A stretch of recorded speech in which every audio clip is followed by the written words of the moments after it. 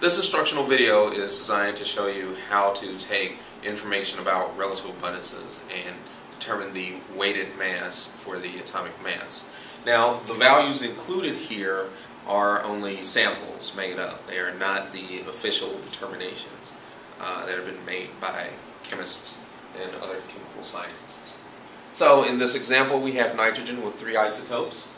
Nitrogen 13 with a relative abundance of 3%, nitrogen 14 with a relative abundance of 93%, and nitrogen 15 with a relative abundance of 4%.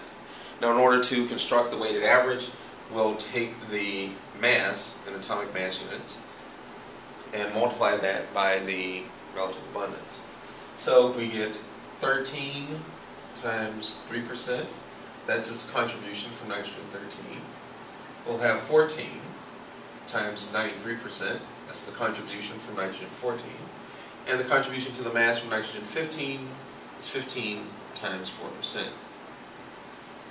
So once we have these values, we can do the multiplication. Here we get 0.39. Here for nitrogen 14, we'll get 13.02. And for nitrogen 15, we get 0.6.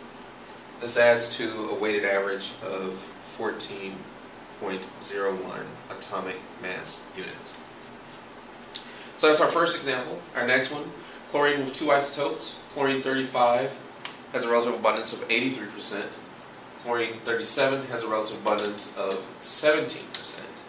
So the same thing applies. We have 35 times the abundance, which is 83%, plus 37 times relative abundance of 17%. So we'll multiply each of these. The contribution from chlorine 35 to the overall mass is 29.05.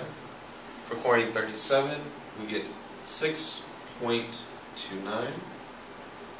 So this gives us 35.34 AMU.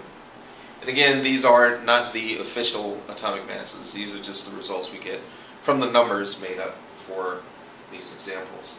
So finally we have cobalt with four isotopes. Cobalt 56, 16%. Cobalt 57, 22%. Cobalt 59, 30%. And cobalt 60 at 32%. Use the same process. We have the mass times its relative abundance for each one of these. 22%. 59 times 30% and 60 times 32%. So we can step through each of these. We get 8.96. Uh, here, 12.54.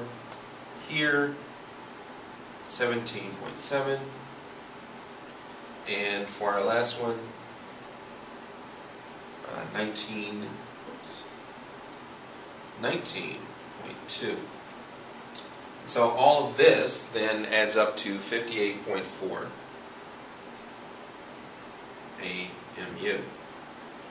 Now if you're given the actual exact masses and the actual exact relative abundances, you could determine a value that should come very close to what you expect to find on the periodic chart.